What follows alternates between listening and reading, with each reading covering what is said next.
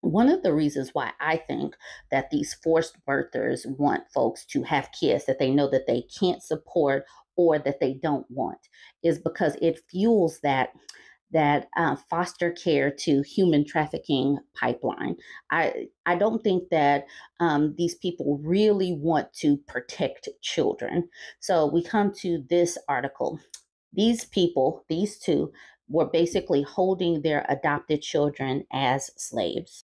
A white couple from rural West Virginia is back behind bars after a judge revoked the initial bond and raised it to half a million apiece, more than double the amount they faced last year when police arrested the pair on charges of locking their adopted black children in a barn and forcing them to work as slaves.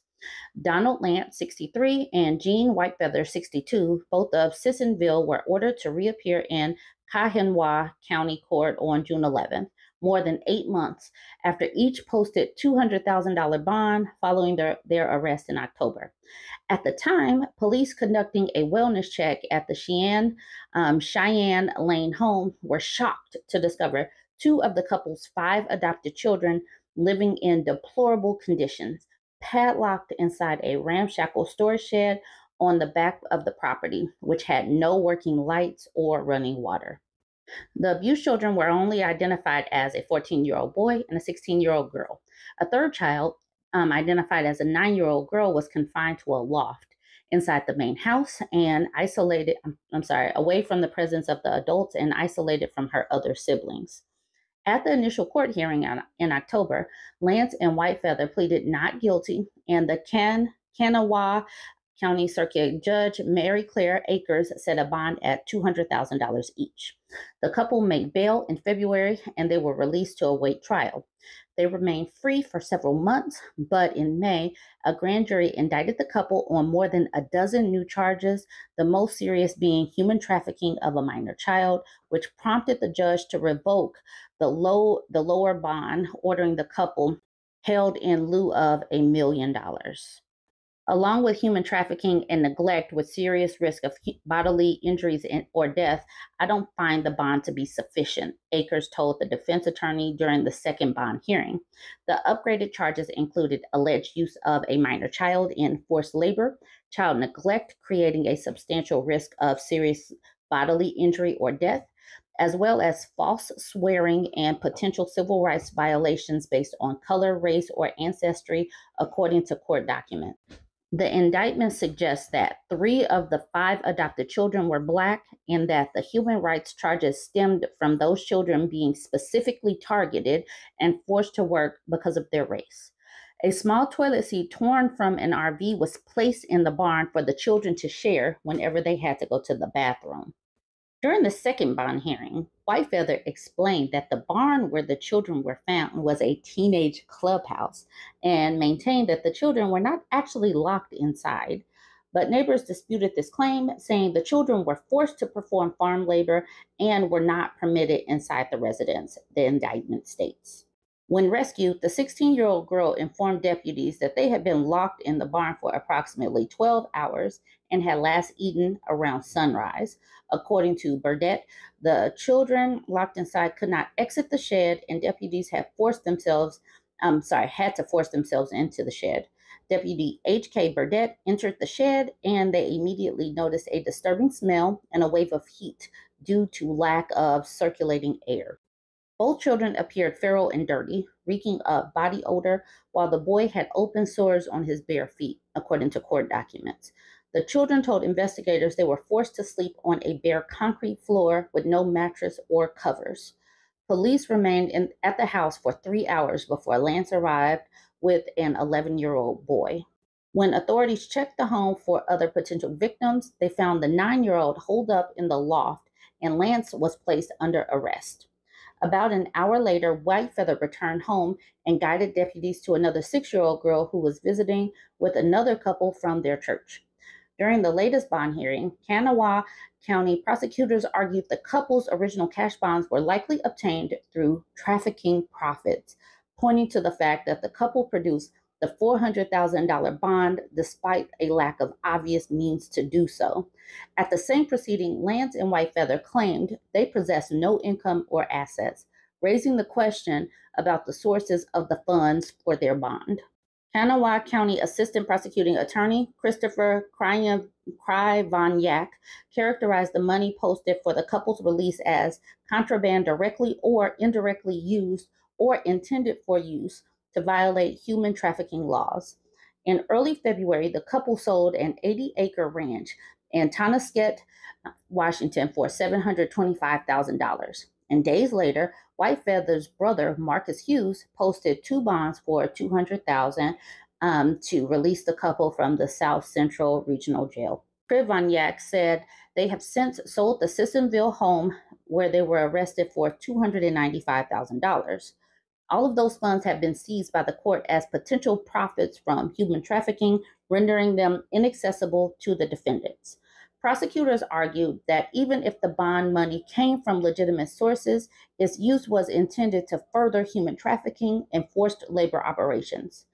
Akers also remarked that the case was unlike any she had heard during her entire career as a judge.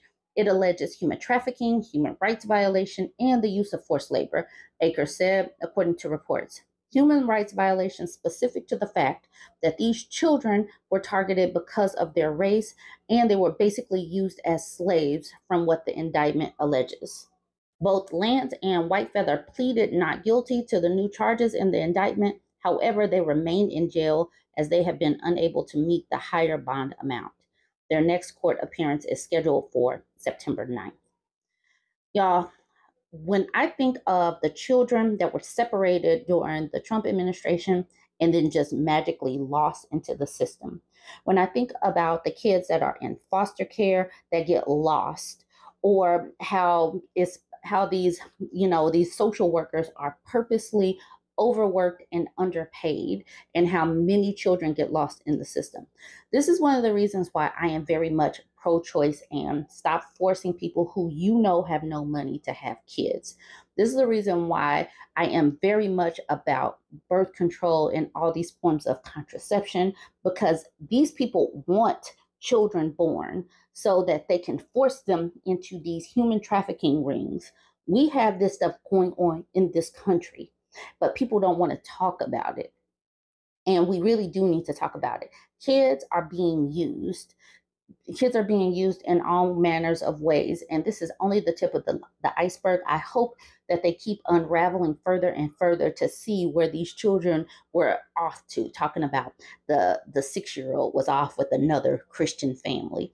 Okay, okay, they need to dig deeper into this one.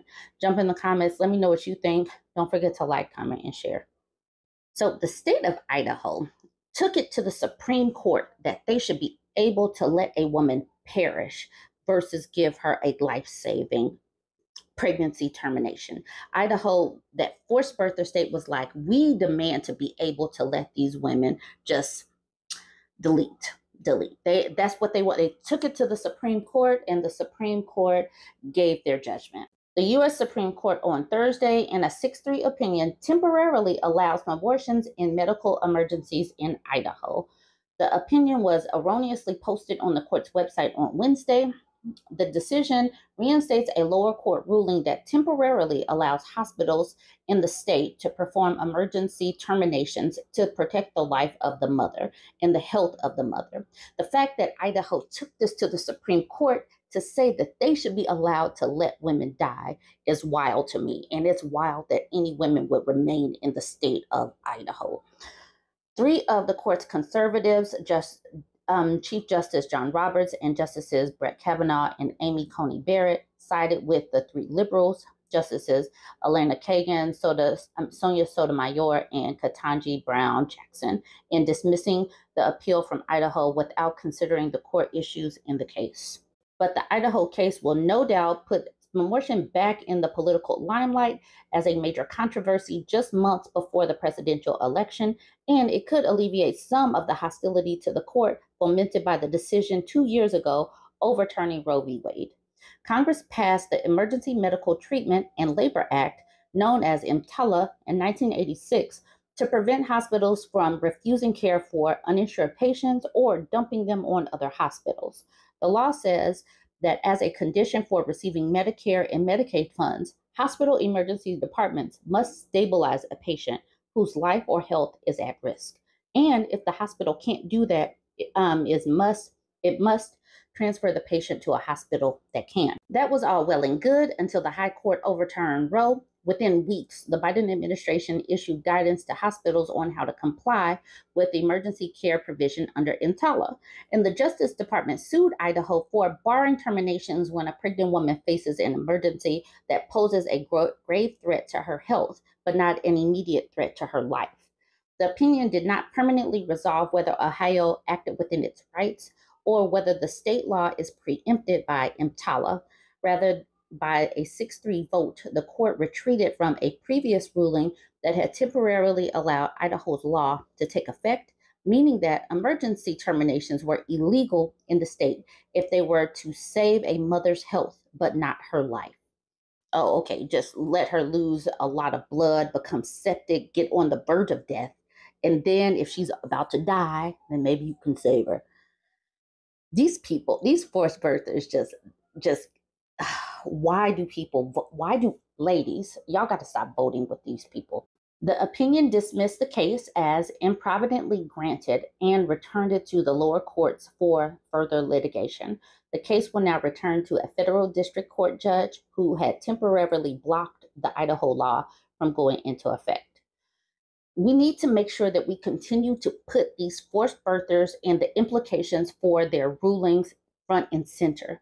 Women and girls need to know and understand that their life is in jeopardy simply being in these states and being of a fertile age because they don't care in these states if a woman has consented at all to being impregnated. They don't care if your health is at risk. They don't care if you have enough money or anything to take care of these babies. They just care about this fetus. They don't care about women and girls. Y'all, if you have the means, you need to get out of these forced birther states.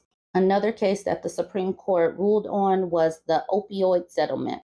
The Supreme Court upsets $10 billion opioid settlement, settlement because it shields the Sacklers. The Supreme Court on Thursday rejected a mass settlement related to the nation's opioid crisis that would have paid an estimated $10 billion to victims, hospitals, states, and others, and shielded the Sackler family from further liability. By a 5 4 vote, the justices ruled that a bankruptcy judge does not have broad power to arrange a mass settlement of thousands of claims that include protections for people who are not bankrupt. The justices were split in an unusual way. Justice um, Neil Gorsuch spoke for the majority, while Justice Chief Justice John Roberts and Justices Soda, Soda, Sonia Sotomayor, Elena Kagan, and Brett Kavanaugh dissented. Our only proper task is to interpret and apply the law as we find it, and nothing in the present law authorizes the Sackler discharge. Gorsuch said, We hold only that the bankruptcy code does not authorize a release and injunction that, as part of a planned reorganization under Chapter 11, effectively seeks to discharge claims against a non debtor without the consent of affected claimants. Gorsuch continued. Justices Clarence Thomas, Samuel Alito, Amy Coney Barrett, and Ketanji Brown Jackson agreed. Today's decision is wrong on the law and devastating for more than 100,000 opioid victims and their families, Kavanaugh said in dissent. The court's decision rewrites the text of the U.S. Bank- Bankruptcy Code and restricts the long established authority of bankruptcy courts to fashion fair and equitable relief for mass tort victims as a result, opioid victims are now deprived of the substantial monetary recovery that they long fought for and finally secured after years of litigation. Gorsuch and Kavanaugh are both conservatives, but they often disagree. Gorsuch often seems determined to follow the law as he sees it, regardless of the consequences, while Kavanaugh is more likely to focus on the practical impact of the court's ruling. The Sacklers, owners of the Purdue Pharma Company, had denied wrongdoing but agreed to contribute to Uh, contribute six billion dollars to the settlement fund if they were protected from future lawsuits. The case has been closely followed not just because of the opioid settlement, but also because of the use of bankruptcy laws to settle other mass lawsuits, involving the Boy Scouts of America and some Catholic dioceses. Purdue Pharma filed for bankruptcy in 2019, facing thousands of lawsuits alleging its marketing of Oxycontin as a non addictive pain relief pill had triggered an opioid epidemic that led to more than half a million deaths since the mid 1990s. In the decade prior to the bankruptcy, the company had distributed about $11 billion to members of the Sackler family and their offshore accounts. Their, their lawyers maintained that more than half of this amount was paid in taxes.